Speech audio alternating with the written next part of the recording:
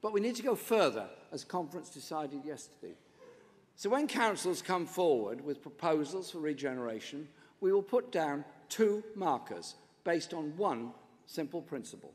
Regeneration under a Labour government will be for the benefit of the local people, not private developers, not property speculators.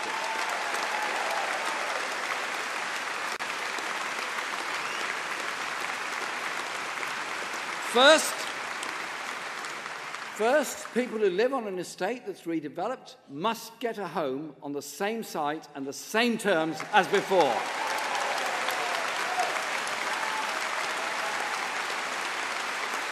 No, no social cleansing, no jacking up of rents, no exorbitant ground rents. And secondly, councils will have to win a ballot of existing tenants and leaseholders before any redevelopment can take place.